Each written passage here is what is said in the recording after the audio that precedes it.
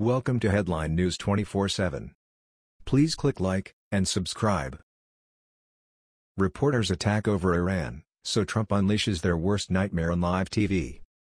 President Donald Trump held an official press briefing in the East Room of the White House on Tuesday, announcing his decision to withdraw the United States from the deeply flawed Iran nuclear deal. Almost instantaneously, reporters began to attack him over the move which will unravel the very cornerstone of former President Barack Obama's foreign policy. This prompted Trump to unleash their worst nightmare on live TV.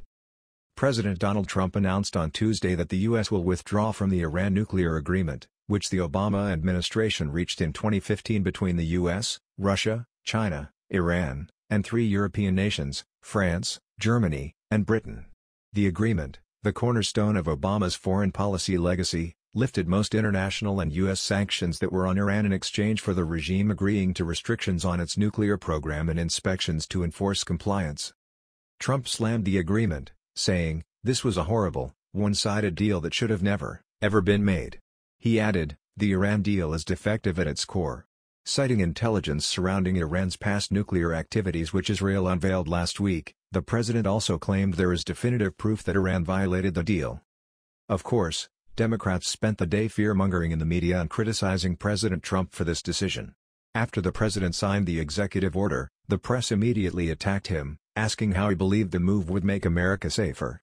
Trump calmly put down his paper, pointed at the insolent reporters, and said something that stopped them dead in their tracks, this will make America much safer. Thank you very much.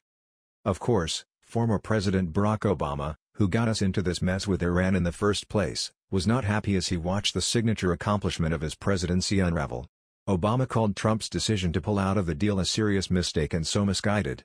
Claiming that Iran is complying with the agreement, Obama said that walking away from it turns our back on America's closest allies, according to CBS News.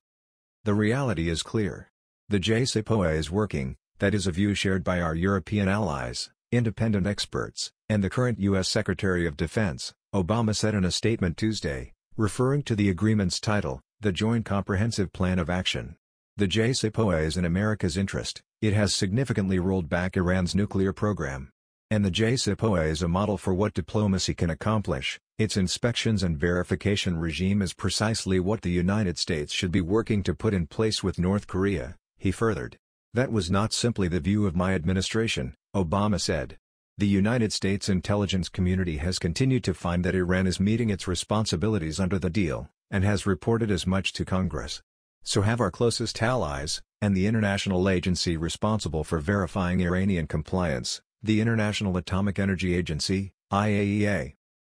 We all know the dangers of Iran obtaining a nuclear weapon, Obama added. It could embolden an already dangerous regime, threaten our friends with destruction, pose unacceptable dangers to America's own security, and trigger an arms race in the world's most dangerous region.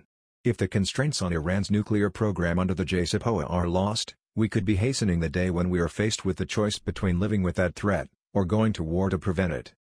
And that, my friends, is what they call fear-mongering. For far too long, the U.S. has been far too lenient on nations like Iran which threaten the safety of Western countries around the world. After eight years of Barack Obama's pussyfooting around, effectively emboldening rogue regimes, it was high time that someone took a hardline stance like the one President Trump has taken. The U.S. is once again a force to be reckoned with. That was the news. We thought you might be interested in knowing about this. Please click like and subscribe. Thank you.